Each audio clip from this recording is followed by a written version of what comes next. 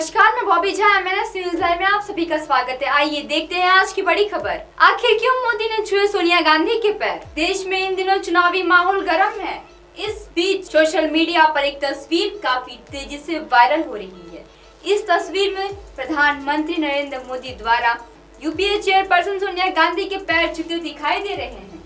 साथ दूसरे एक तस्वीर में मोदी द्वारा आडवाणी के पैर छूते दिखाई दे रहे हैं। दरअसल यह तस्वीर पुरानी है गूगल से खुलासा हुआ है कि यह तस्वीर फोटोशॉप्ड है।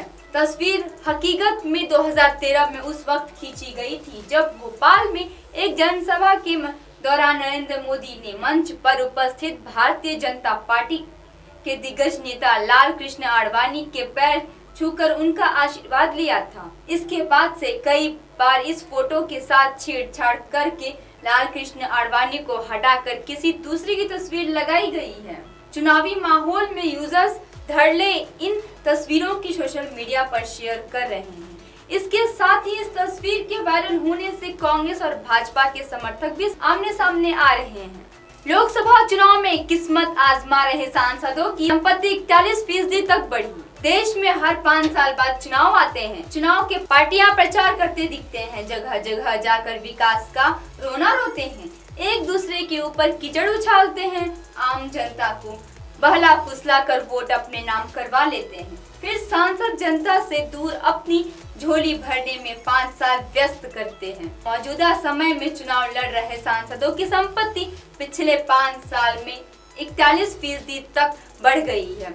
इस बढ़त में सभी दलों के सांसद शामिल है।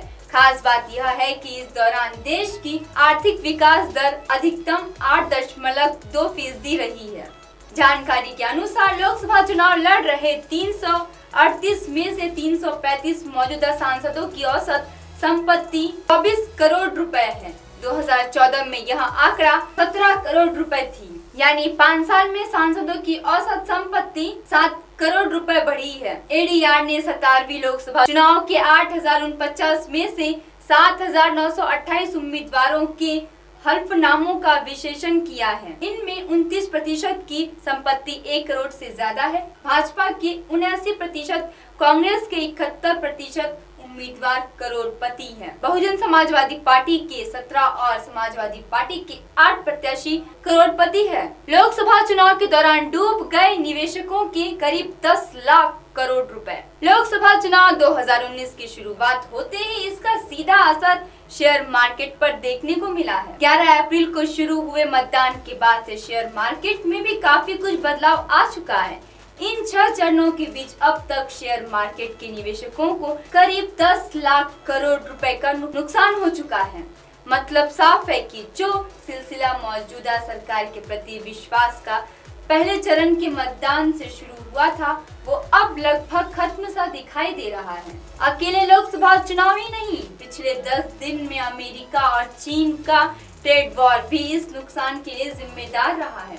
लेकिन यह ज़्यादा जिम्मेदार सरकार के प्रति विश्वास कम होने की ज़्यादा रही है। गत दिन यानी कि सोमवार को सेंसेक्स और निफ्टी में भारी गिरावट देखने को मिली थी।